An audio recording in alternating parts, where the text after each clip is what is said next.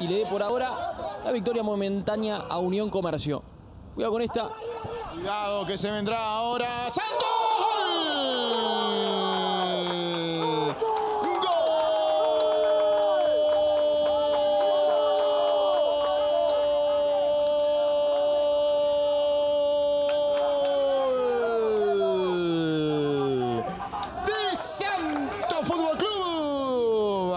Apareció Tito.